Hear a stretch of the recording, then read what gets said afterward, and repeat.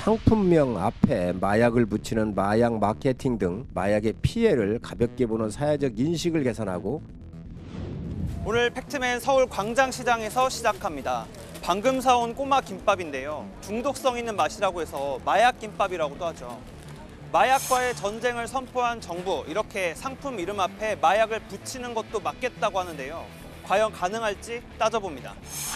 최근 5년간 마약이란 이름이 붙은 상표를 쓰게 해달라며 특허청에 접수한 사례 150건이 넘습니다. 하지만 모두 거절됐는데요.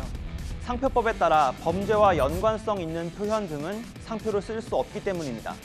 그런데 지난 2019년 마약베개라는 상표가 정식 등록됐습니다.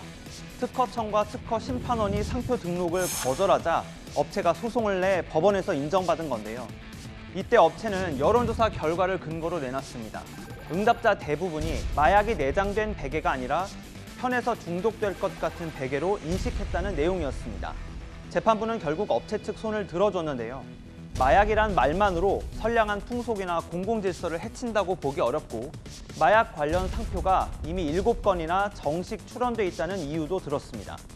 하지만 이 업체는 계속된 논란 속에 상표를 교체했습니다. 마약이라는 단어에 대한 친숙도가 높아지면 그게 이제 선호도로 갈 가능성도 굉장히 크다. 어린이나 청소년 같은 경우에는 경계하지 않을 수도 있다. 상표에 마약이라는 표현을 금지하면 기존 판례와 충돌할 가능성이 있어서 법제화 과정에서 세부적인 기준이 마련될 걸로 보입니다.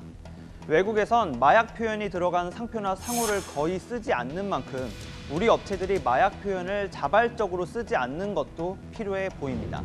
팩트맨이었습니다.